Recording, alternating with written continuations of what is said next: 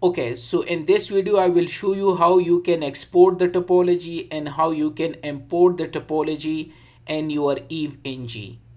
And this way you can exchange your labs to your friend and colleagues as well. But they require the same images to use them. That's the only thing they need those images. So I just created this topology. You don't need to follow these steps to create them from scratch. If you want, you can However, so easy so that you can use the same topology which I create and you can import and use them. How? So I just created this topology. Yeah? So what I will do, I will close this lab from here and the my file name is we give them the name SDWAN English.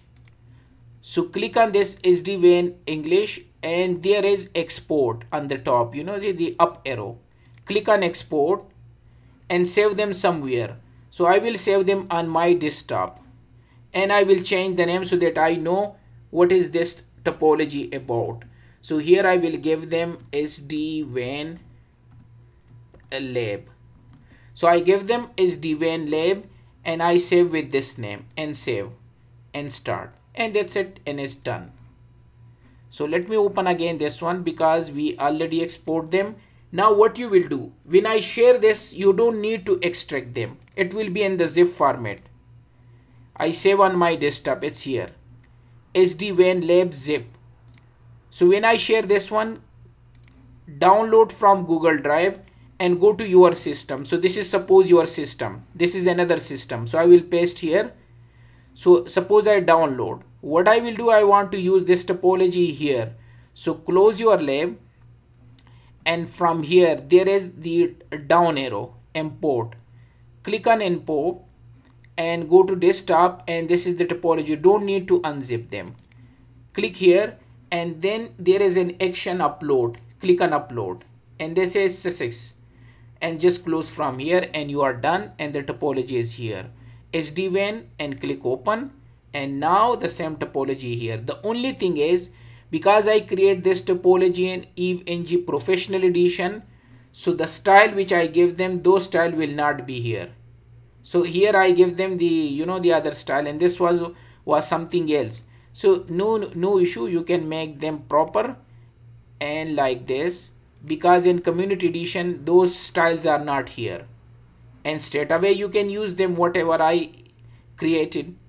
But before using them go to more action and wipe all the nodes. Sometime it will not run until you do this one. And we are done. And now you can start this topology and you can use them your lab. You can start all the images either one by one. So you see I start the switch and now I can use them this straight away. And because I have these images in my EVE-NG so I can use them. In case the same image is not available, so right click edit and you can change the image. Again it will work. So this is the way how you can export and import the topology to use them in your lab.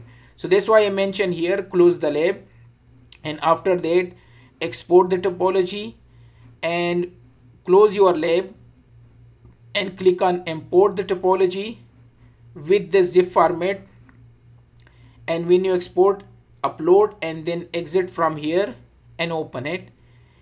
But before use them reset the lab.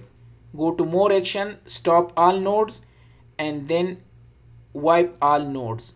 And then you can use them. So it's so easy to use the same topology not only my one there are many topology available on EVE-NG website as well. You can download those and you can use them in your lab if your friend create any topology they can share with you somewhere the same way and you can follow these steps to use them.